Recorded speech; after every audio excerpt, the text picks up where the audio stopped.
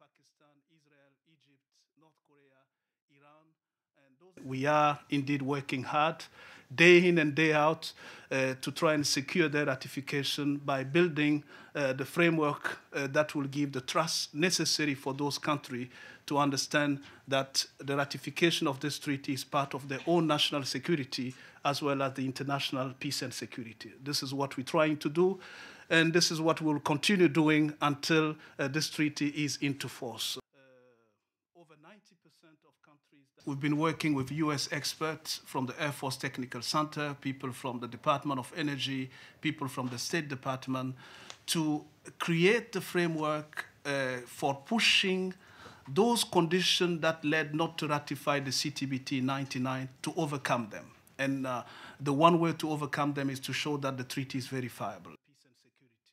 Uh, so the PTF, our system is there to detect any meaningful explosion that could be relevant for the, uh, the development of weapon of mass destruction. Uh, talking about those, it is today difficult, if not impossible, uh, to do a test that will go undetected. We're providing to our member state, indeed, all the necessary framework, technical framework, for them to be able to verify themselves that no nuclear test explosion goes undetected.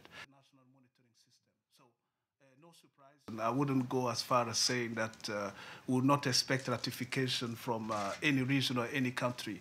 Otherwise, I wouldn't be sitting in this chair because I think we have to, to have a dream, and our dream is to get this treaty into force.